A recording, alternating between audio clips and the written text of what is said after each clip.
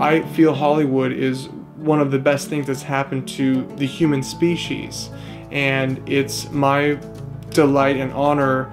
Um, I'm humbled to be working within the Hollywood industry. Hollywood as an entity has been my Mount Everest. Uh, I look up to a lot of the filmmakers that have made it to the top of Mount Everest and I see myself up there and I see myself putting in the flag of the Kloons. Growing up with those great filmmakers like Walt Disney, I feel strong connection with those characters in his movies. Uh, I'm still trying to find my princess and, and uh, get her in that castle. Hollywood. Hollywood where the big dogs play.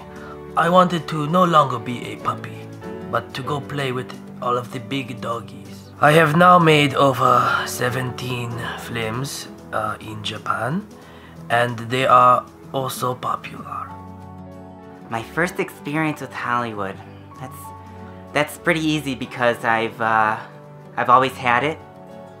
It's always been there with me growing up, but my dad, when I was very young, took me to see She's All That, starring Freddie Prinze Jr.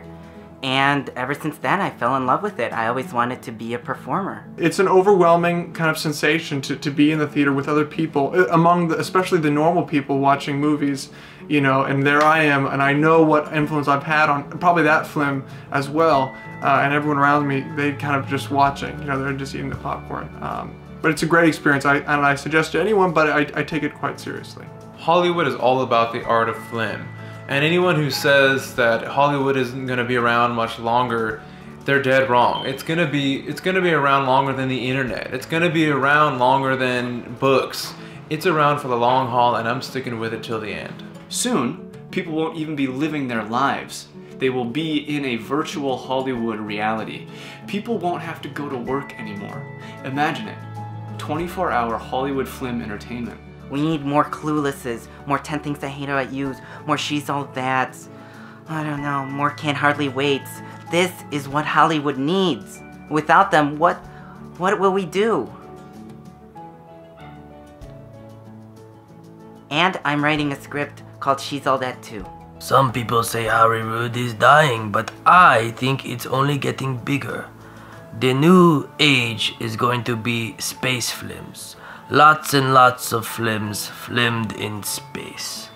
It is only making sense to me right now, but it will be the future. Space films.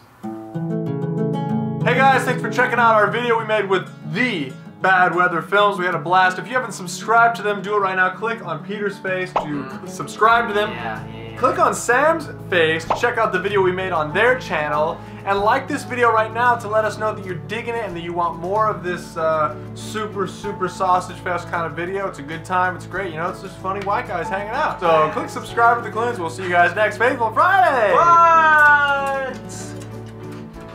Last words. Bye bye.